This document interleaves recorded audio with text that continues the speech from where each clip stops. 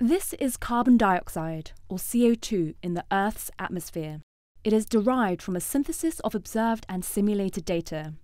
Reds and yellows show regions of higher than average CO2, while blues show regions lower than average. The pulsing of the data is caused by the day night cycle of plant photosynthesis at the ground. As CO2 is lifted away from the surface, it is rapidly spread around the world by high altitude winds. The high concentrations are from the buildup of CO2 during the Northern Hemisphere winter, when photosynthesis is not active and CO2 is produced by plant decay. By July, photosynthesis in the vast vegetation regions north of the equator draws massive amounts of CO2 out of the atmosphere, resulting in low carbon dioxide across the entire northern hemisphere.